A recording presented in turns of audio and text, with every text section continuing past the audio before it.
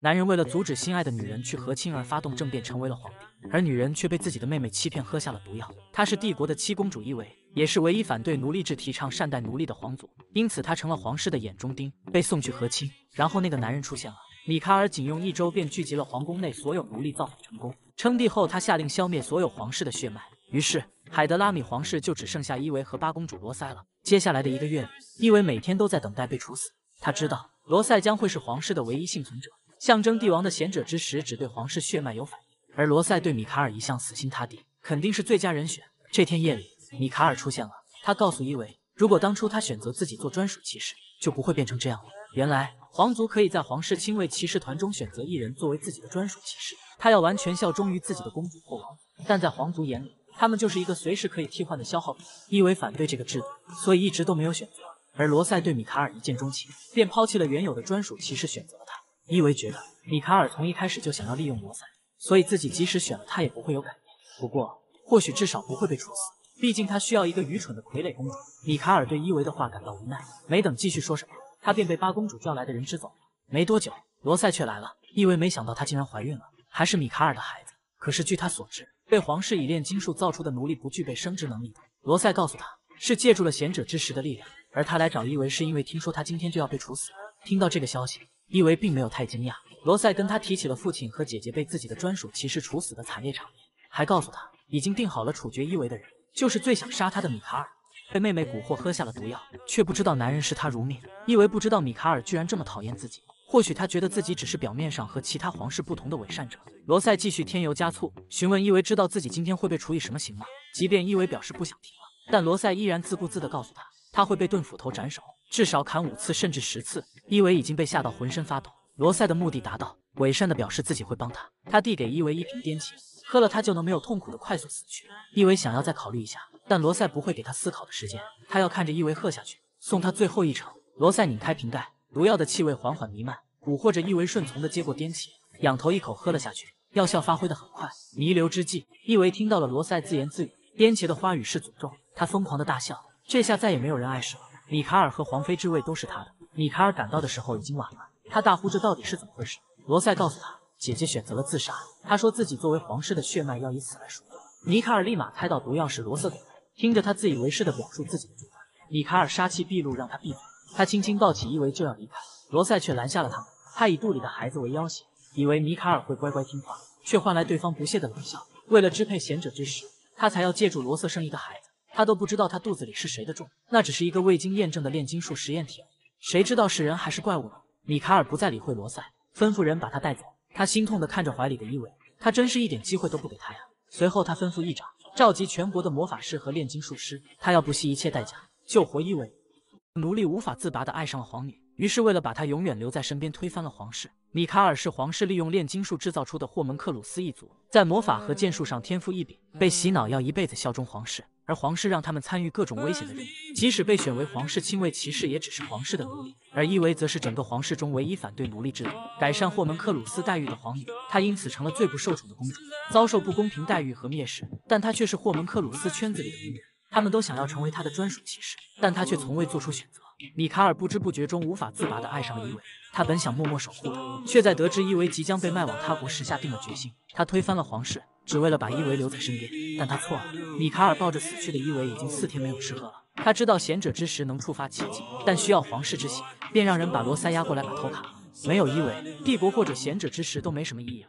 这时，云山之灵的贤者出现，他告诉皇帝，复活皇女是不可能的，但是他可以让时间倒转，只不过代价很高，会耗尽一半的贤者之石。米卡尔轻轻地放下伊维，表示怎样的代价都无所谓。贤者开始准备仪式，他提醒皇帝，贤者之石是与拥有皇室血脉的献祭者相连的，所以时间回溯是以七皇女为中心的，也就是说，只有伊维能记得发生过的一切。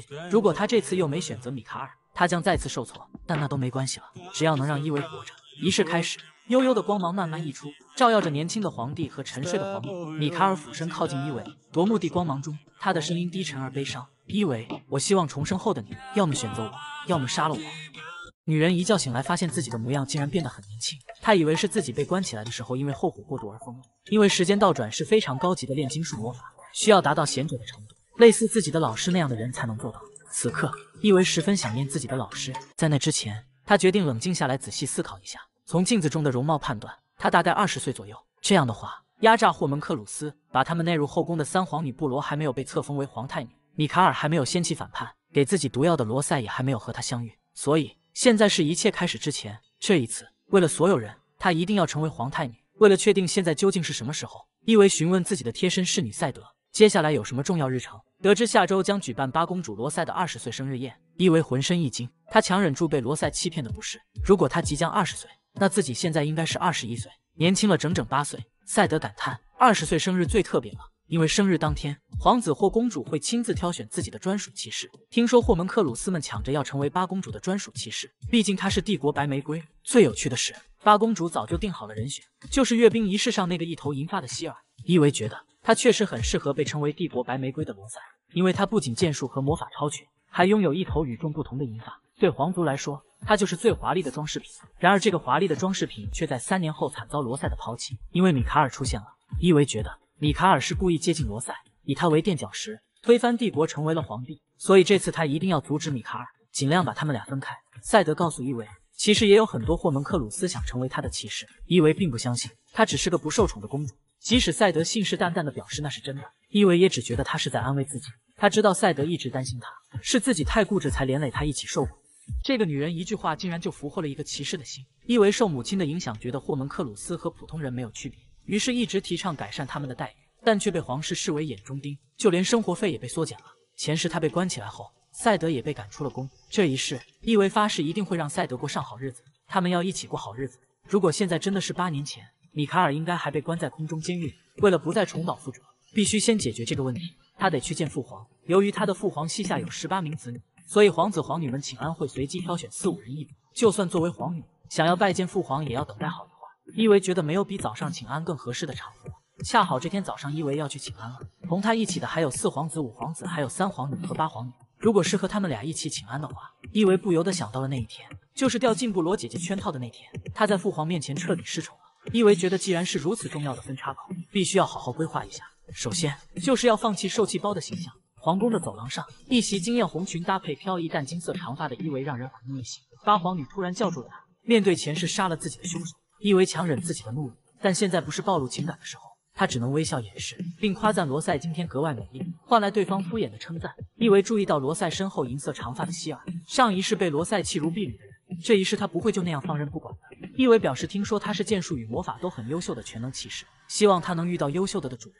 希尔明显的有些惊讶，因为他的话让他深受感动。高贵血统的人第一次看到他时，一般都只会对他的银发感兴趣。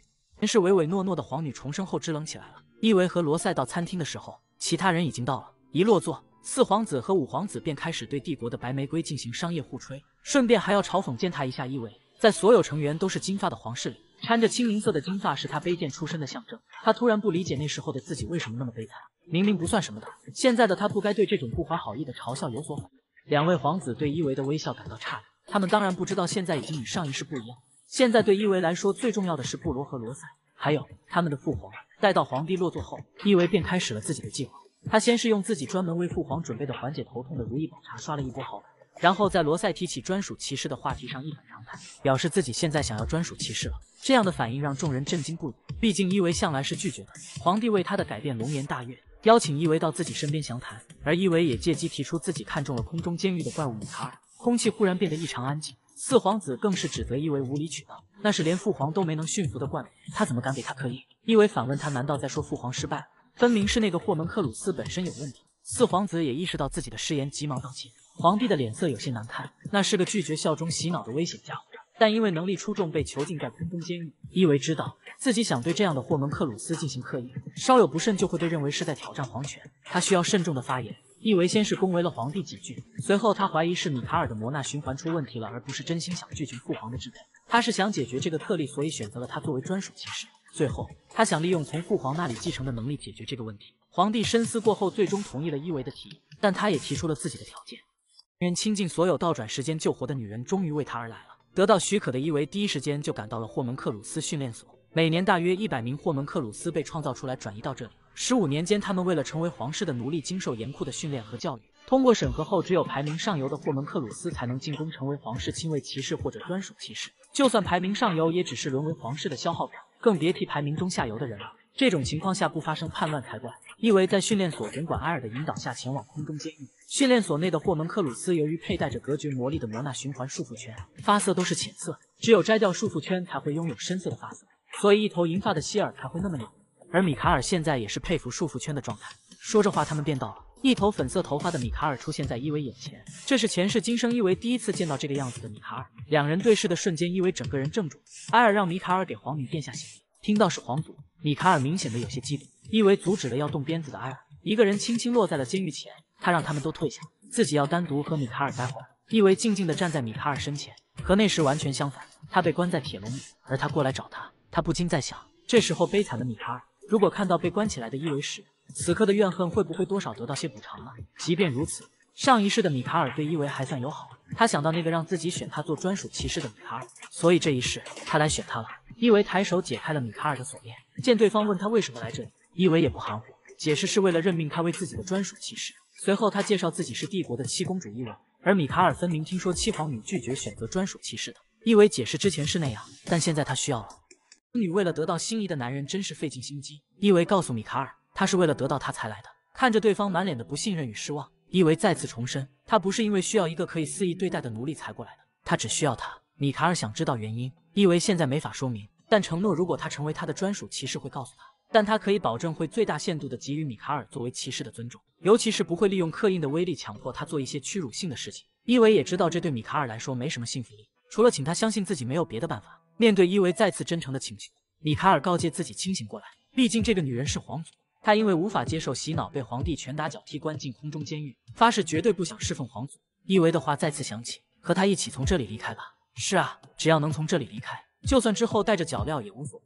米卡尔最终接受了那只手，把我从这里带走吧。在进行刻印之前，米卡尔告诉伊维，拒绝皇帝的忠诚宣誓仪式不是他的自主意识。如果没自信的话，现在退出还不晚。勉强自己最终失败的话，会危及他的生命。仪式开始。闪耀的金光流转在两人周边，伊维明显的感到了吃力。米卡尔也注意到了这点。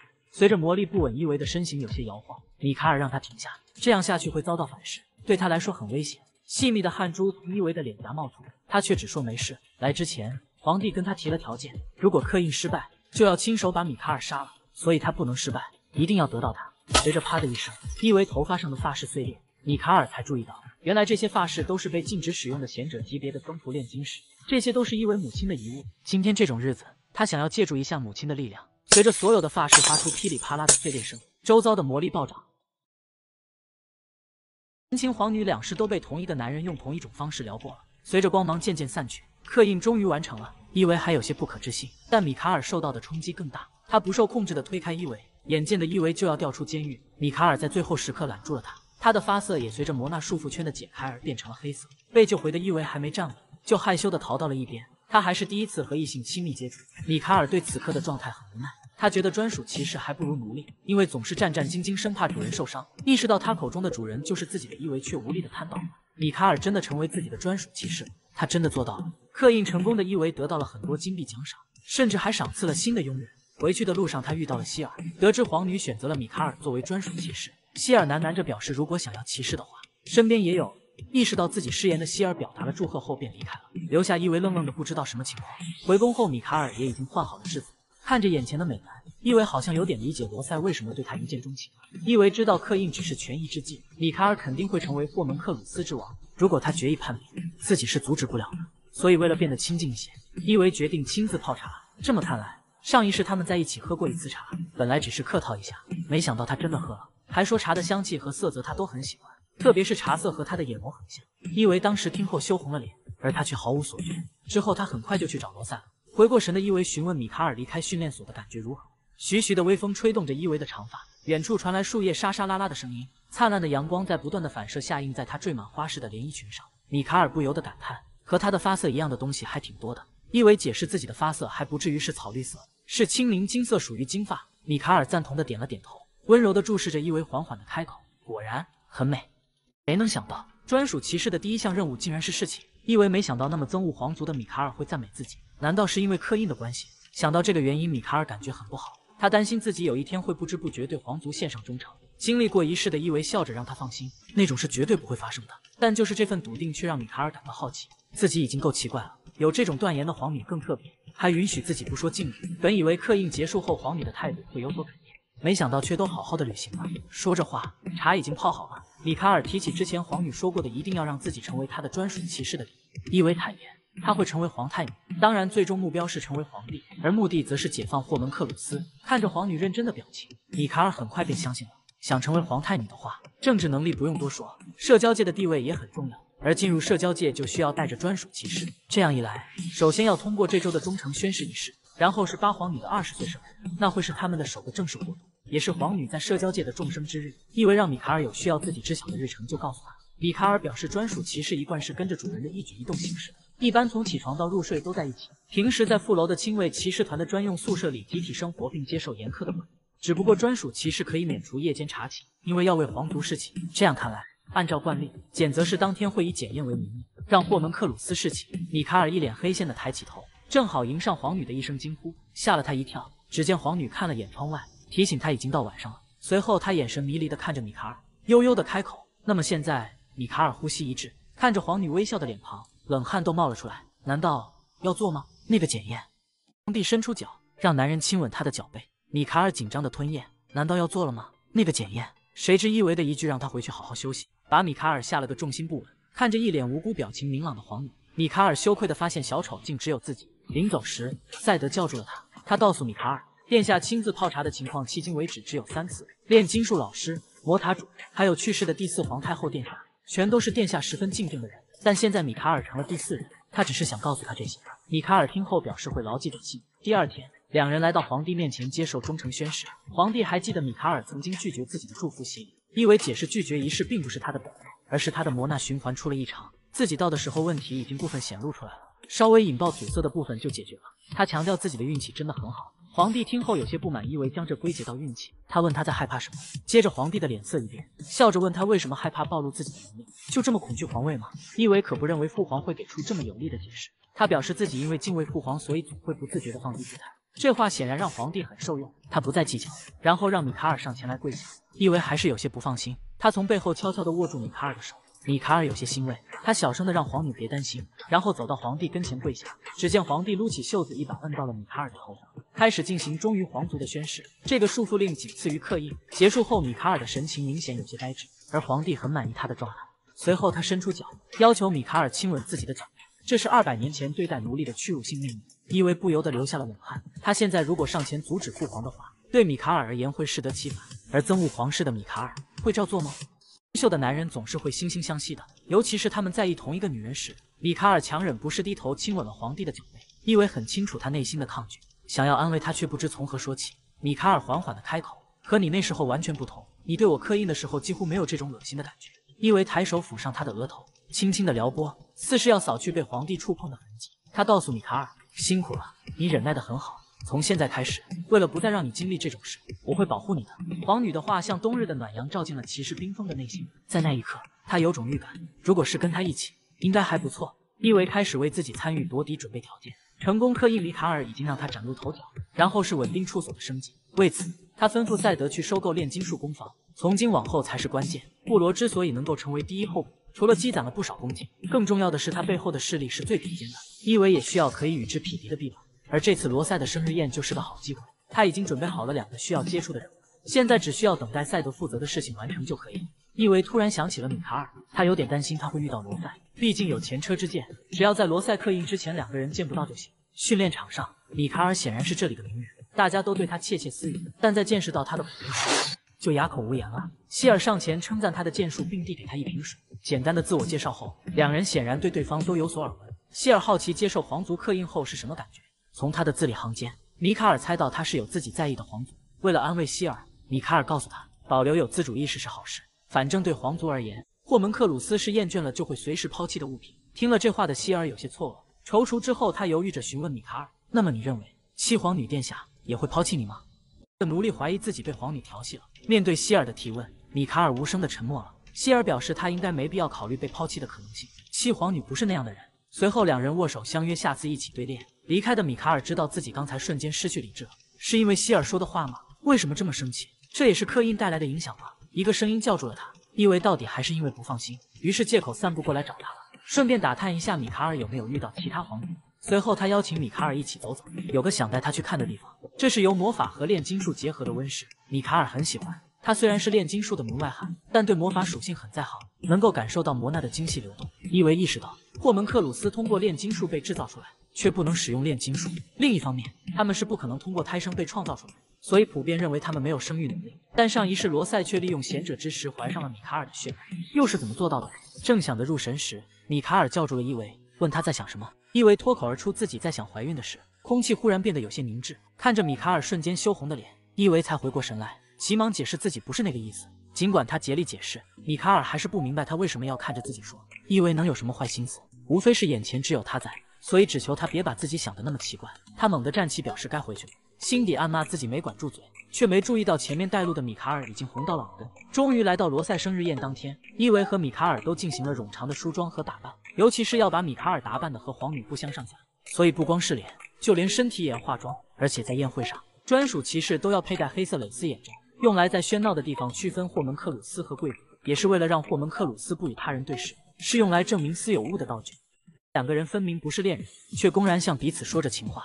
随着窗外绽放出绚丽的烟花，众人知道八皇女的检择是完成了。伊维轻声呢喃，最终还是希尔成为了罗塞的专属骑士。米卡尔看着他，心里有些吃味，提醒皇女，如果对其他皇女的专属骑士感到可惜，自己会很为难。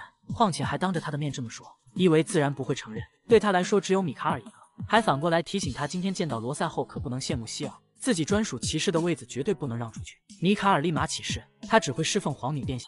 粉色的泡泡在两人之间流转，惹得众人不由得心神荡漾。生日宴终于开始了，七皇女的出场引起了不小的骚动，众人还有点不敢相信，角落里的贤者怎么会参加生日宴会？只见七皇女一袭优雅长裙，搭配精致妆容，挽着一个高大英俊、戴着蕾丝眼罩的男人闪亮登场。宾客们震惊不已，坊间传闻竟是真的。七皇女有专属骑士了。伊维抬头询问米卡尔：“第一次参加宴会，感觉怎么样？”米卡尔透过眼罩看着眼前的皇女，此刻才理解侍女们在装扮完皇女时说的话，的确很美。迎着周围人的打量，米卡尔询问皇女的计划是什么。伊维告诉他，要给能帮助他的人留下深刻的印象。至于米卡尔要做的，就是帅气的待在自己旁边，还有兄长或者姐姐朝他走近时，提前告诉他。那么接下来就开始行动吧。首先就是帕内洛男爵夫人，作为魔晶石矿山的管理员，上一世他的家族对布罗发动了叛变。如果是他们的话，肯定能成为伊维的助理。见男爵夫人在酒杯前徘徊，伊维上前推荐了果汁。随后他很自然的和男爵夫人闲聊了几句，让对方放松了不少。接着，伊维提起他看书了解到他们领地的拉塞托拉河会经受五十年一遇的洪水，让他多多注意，因此有可能造成的灾难。皇女重生后竟然得了社交牛逼症，对于七皇女给予的警告，男爵夫人震惊不已。伊维提出会让自己的侍女提前把相关资料找出来，男爵夫人回领地之前可以来一趟他的处所。对方自然是感激不已，表示明天就会入宫拜访。效果达到，伊维适可而止的结束了谈话。很快，七皇女的身边聚集了很多人，大家才发现原来七皇女这么擅长社交，他们也对她的专属骑士感到好奇。三皇女一伙见此情况却高兴不起来，见布罗周遭的气压变低，四皇女和五皇子识趣的走开了。米卡尔一眼就注意到朝他们走来的两位皇族。伊维知道后，立马和众人表示自己想去露台透透气，转身躲开了气急败坏的兄姐。逃出宴会厅的两人长呼一口气，伊维一个趔趄被米卡尔扶住了。他好久没穿高跟鞋，脚步隐隐有些刺痛。米卡尔扶着皇女缓缓地坐下，然后单膝跪地握住对方的玉足，施展魔法。伊维被他的举动惊得内心狂跳，莫名的情愫在两人之间渐渐流转。突然，米卡尔警觉的就要拔剑，一个男人的声音响起：“皇女殿下，我等您很久了。”来人自称阿尔文。十分钦佩殿下能够发掘被低估的人才，而伊维却懵逼了，因为他是雷德蒙伯爵家的次男，现任礼宾司的管理员，也是未来的大贪官。阿尔文是个关系户，因为一次祭祀失误遭到贬值，又再次利用父亲的力量成为出纳官。从那时起，成了出纳部的实权者，开始各种贪污腐败，就连伊维也是其中的受害者。不知道转移走了他多少预算和奖金。虽然好几次都试图告发他，但他善后做得太好，没有机会。这么一想，他在某些奇怪的领域还挺有才能的。米卡尔询问皇女认识他吗？见阿尔文一副可怜兮兮的小狗模样，伊维知道他一定是留意到自己在宴会上接触了哪些人。要是与这么会察言观色的人为敌，就麻烦了。于是灿烂一笑，表示很久以前就想认识他了。女人被一群男人刁难，男人及时出现英雄救美。皇女的话让阿尔文心花怒放，不自觉地把上级怎么埋汰自己的都抖露出来了。这也让伊维猜想，或许前世是因为阿尔文的上级阻碍了他的仕途，所以才闹别扭搞贪污的。他打算给对方一次机会。伊维提醒阿尔文立刻去礼宾部看一下。今天八皇女的检择室上使用了很多祭品，他推测可能有很多没有得到使用许可。阿尔文不愧是察言观色的好手，立马就明白了其中厉害。不由得也对七皇女充满了崇拜。在伊维的指示下，立马撒丫子去处理文件了。打发走阿尔文的伊维瞬间感到疲惫至极，轻轻依靠在米卡尔身上寻求慰藉。这是没预想到的事情，因为害怕失误，他止不住的发抖。幸好现在完美的解决了，但现在还没结束，伊维还需要填补自己政治背景不足的住。他让米卡尔现在离自己稍远一些待命。眼前这些少爷在帝国学院上学，他们都很优秀，家世也很显赫。虽然不是长子没有继承权，但其中有两个人成功继承了爵位。伊维上前询问他们可以给他一杯酒吗？短暂的沉默后，黄毛率先开口邀请他来自己旁边坐下。伊维没想到传闻中无礼的卡莉会是这反应，不禁怀疑他有什么企图。伊维表示自己很好奇帝国学院，想听他们说说。谈话进行得很顺利，直到伊维的酒杯空了，几个人蜂拥而上。等他反应过来，才发现自己手里竟然有两个酒杯。他们不止给伊维将饮料换成了酒，还递给了他不能被拒绝的酒杯。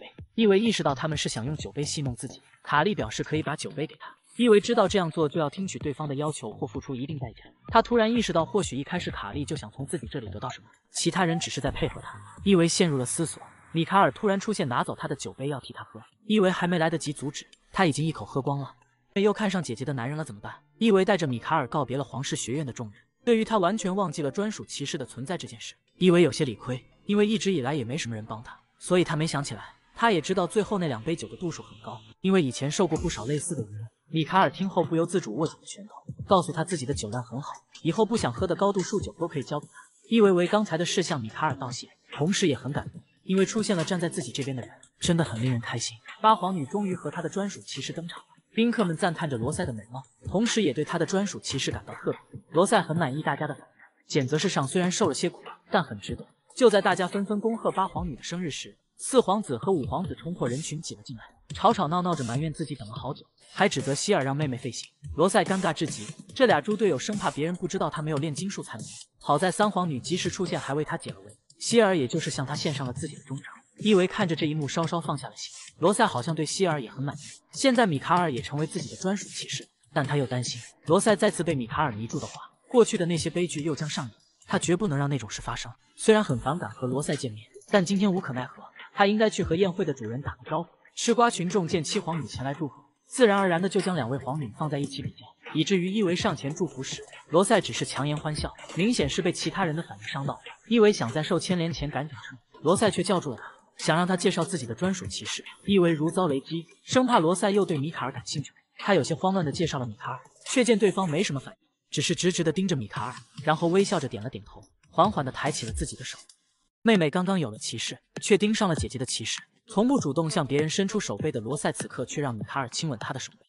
现在米卡尔的面容分明被遮住了，难道他只是想纠缠一次试试？亲吻帝国白玫瑰的手背是很荣幸的事，所以都认为主人是不会介意的。伊维觉得罗塞太拙劣了，他心痛的看着自己的专属骑士亲吻罗塞的手背，难过的愣在原地。之后轻瞟了一眼旁边，伊维不想让罗塞和米卡尔以这种方式捆绑在一起。只见米卡尔抬起手拨弄头发，然后不经意的擦住，这直接给伊维看傻了。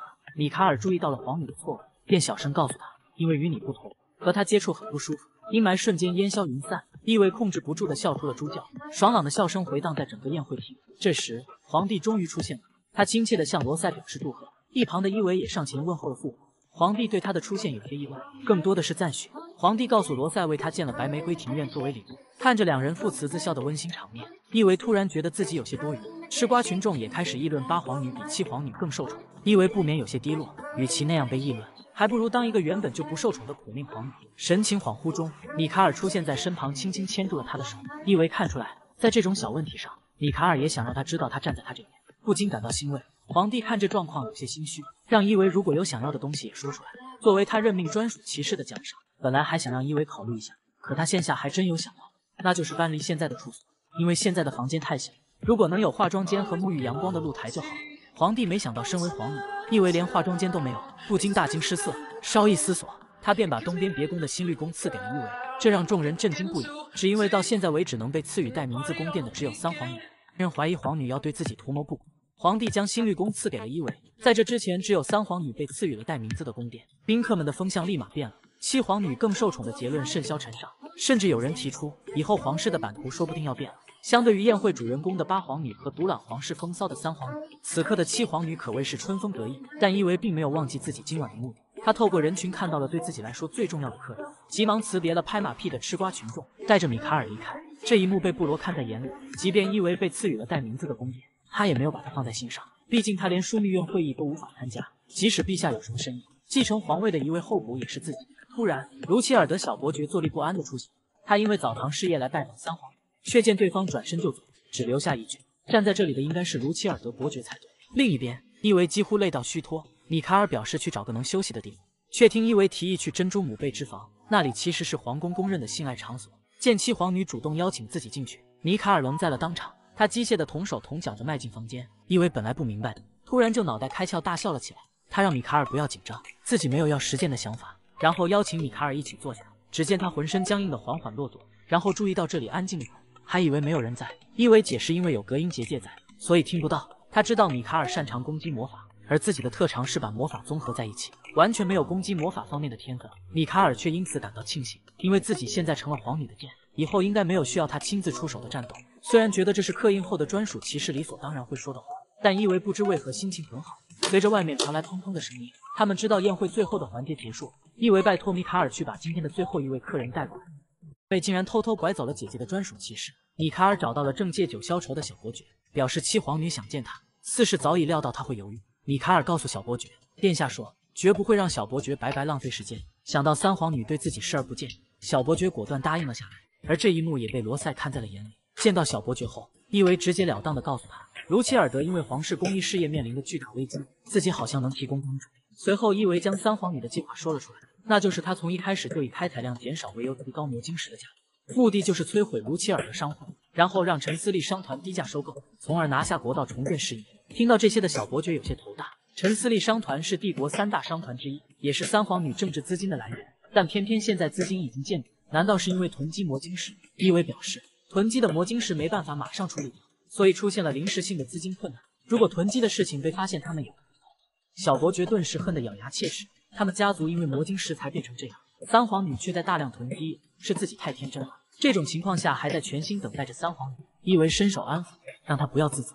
从现在开始，他会帮助她。不久之后，小伯爵已经容光焕发的开始期待新事业了。两人很有默契的达成共识后，小伯爵便告辞了。伊维也同样松了一口气。因为阻止了陈思利拿下澡堂事业，就可以避免未来公共澡堂的特大火灾事故，挽救超过三百名平民的伤亡。这会成为阻碍布罗的第一步。此刻，伊维突然想起了米卡尔，小伯爵都已经离开了，不知道他在做什么。伊维起身呼唤米卡尔，却见走廊上空空如也。他一路寻找之下，遇见了孤身一人的希尔，得知对方也正在寻找八皇女，伊维有一种不好的预感，或许是罗塞把米卡尔带走了。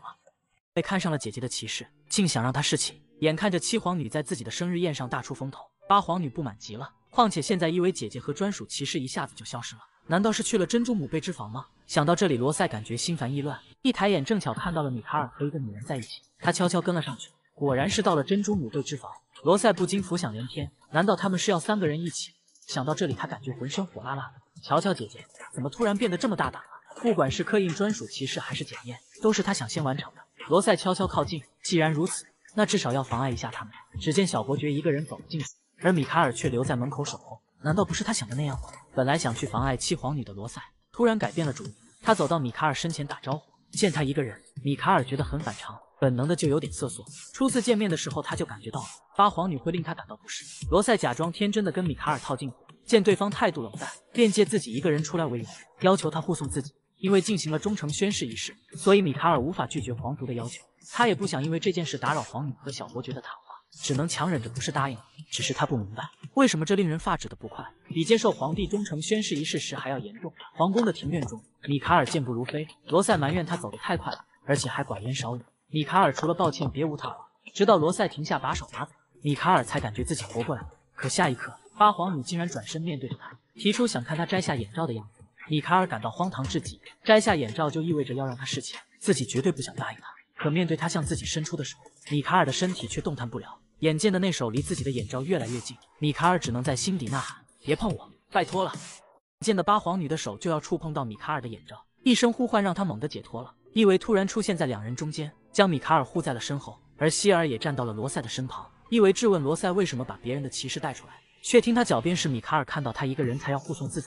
虽然知道罗塞是在说谎，但伊维没有揭穿他，只是看他一副把其他人当傻子的样子，有些生气。伊维让他和自己的专属骑士一起继续散步，罗塞口头上答应了，转身却又改变了主意。他表示大家都在宴会场等他，还是回去吧。伊维担心的看了眼米卡尔，他现在都已经是自己的骑士了，罗塞居然还做这种事，他只希望不要再像上一世一样。看着罗塞终于带着希尔离开了，伊维询问米卡尔发生什么事了。听到八皇女想摘下他的眼罩，伊维震惊不已。摘下他的眼罩意味着要让他侍寝，罗塞不会不知道这样做是什么意思。罗塞终究要重蹈覆辙吗？宴会之后，伊维在社交界的人气飙升，邀请函多到看不完。之前准备的事情也都在顺利的推进，他感觉很不错，这样下去就不会有问题。伊维又找到阿尔文给自己参谋皇室公共活动，简单来说就是皇族进行的社会福利活动。如果累积的公共活动积分很高，甚至可以参与政治，所以他准备开始积累公共积分。打开目录，伊维在调查魔晶石开采厂的实际情况那一页停下。阿尔文提醒他可以选择比这个靠前的活动。伊维知道，在他之前挖掘并支持艺术家的活动也不错。艺术家出名之后，根据他的名气，自己可以获得很多公共积分，但因为不确定性，所以很难作为主力活动。在阿尔文推荐了几个他能做的公共活动后，两人便离开。米卡尔询问伊维是为了今后能够访问魔晶石开采厂才想积累公共积分的吗？伊维表示他想在上半年去探望开采厂的霍蒙克鲁斯，也想尽快改善他们恶劣的生存状况。吃醋了，竟然有人在他眼皮子底下调戏他的主人。皇帝带着几个皇女一起来到了新绿宫，伊维觉得正好趁这个机会确认一下布罗的专属骑士，因为他经常换人，所以很容易搞混。看着眼前英俊高大的骑士伊莱泽，伊维想起来，他是很少见的能够长期担任布罗专属骑士的人。也有传闻说他令姐姐满意的秘诀是出色的床上功夫。想到这里，伊维不由得面色一红，自己怎么会进行这种想象？他抬眼看了眼对面的伊莱泽，正好和对方的眼神交汇，只见他冲着伊维微微一笑，眼角的泪痣格外动人。纯情皇女哪受得了这种魅惑？羞得转过头去，不敢再看。这反应被米卡尔捕捉到，他注意到对面男人正扑哧笑出声，顿时面色一寒，竟敢招惹自己的主人！要不是现在形势所迫，米卡尔绝对要将他摁在地上使劲摩擦。三皇女赞叹了一下新玉宫，见伊维喜欢，皇帝也很是高兴。只是有人欢喜有人忧，没能得到带名字宫殿的姐姐们不开心的抱怨了起来。三皇女见皇帝面色不善，出言打断了他们。随后，她向父皇提起了重建和开发事业，表示自己想参与。伊维察觉到布罗就是为了说这些话才过来。一边向父皇展示他的政治嗅觉，一边将收益颇丰的事业集中到自己这一方的陈思利侯爵身上，其实就是想看到伊维在无法忍受的话题中冲撞父子的样子。这一世自己不会轻易被他攀咬。皇帝见布罗对事业的内容很好奇，便解释他想把东部的贫民区迁移到南部的开发区，接着就得到了布罗的迎合，让平民迁移到经常被魔兽袭击的南部，在这期间发展东部来缓冲南部的损失。布罗看着专心喝茶的伊维，阴险一笑补充，还可以利用平民去开垦荒地。伊维停下了手上的动作。就算是不缴纳赋税的平民，抢夺了他们的家园还不够，还要让他们成为新的人肉护栏去开垦荒地吗？那么伊维会怎么做？他会再次陷入三皇女的圈套吗？主要不活了，女主又在自己眼前被调戏了。伊维告诫自己要忍住，现在出面只会惹恼父皇。三皇女看伊维还挺能忍，便决定再添一把火。她向父皇提议由皇室先借钱给平民买房，然后将他们的信息登记到溥仪里，给他们提供工作，他们就能每个月还钱给皇室。这个主意得到了皇帝的支持，但伊维却清楚。登记后就必须要交税。这两个人不仅想让平民去当人肉榨干，还要榨干他们最后一点劳动力。伊维终究还是表态了，他不赞成。如果这样做，平民们肯定会拒绝搬迁。布罗露出了得逞的笑容，皇帝则冷眼看向了伊维。短暂的沉默过后，伊维解释房子和工作在重要，也没法和生命相提并论。如果强行让他们搬走，那么父皇在百姓心中一定会威信扫地。看着皇帝陷入了思索，伊维紧张至极。他祈祷这次一定要和以前不一样。布罗问他有什么办法。难道让父皇放弃开垦？见伊维沉默，他以为果然如此，却听伊维坚定的否定了，还表示自己有一个更好的办法，那就是在开垦地区的外围给骑士们建造住宅。听到这话，在场的无论是骑士们还是皇族都震惊不已。只听伊维继续阐述，只要将骑士轮流派到开垦地区，就能提升边境的防御力。皇帝认为这是个好办法。要是按照三皇女的计划，皇室就要为平民建造房屋；而按照七皇女说的去做，等那些霍门克鲁斯死后。房子又会回到皇室手中，他不禁夸赞伊维的点子太棒了。布罗脸色铁青，咬牙切齿的表示，没想到伊维竟然能想出这个办法。知道他又在试探自己的伊维微笑不已，因为对他来说，帝国的利益比什么都重要。这个回答让皇帝欣慰无比，而伊维却知道，虽然这个方法看似对霍门克鲁斯没好处，其实可以让他们拥有居住权，是他们拥有人权的第一步。在这之后，皇帝明显更倾向于伊维的意见。这让布罗愤怒不已。待他们走后，伊维和米卡尔正讨论骑士们听到他的提议后的反应，却听侍女通报，伊莱泽又回来了，说是来拿三公主落下的丝带。伊维让他进来，伊莱泽张望过后表示是他看错了，随后单膝跪在皇女身前，请殿下原谅，并伸出了自己的手。伊维一边暗骂这该死的礼物，一边伸出手，只见伊莱泽缓缓地抬起皇女的手，慢慢地靠近，然后在上面留下了一个响亮的吻。伊维和米卡尔都惊讶地张大了嘴，看着抬起头、一脸明媚笑容的伊莱泽，不明白这是什么情况。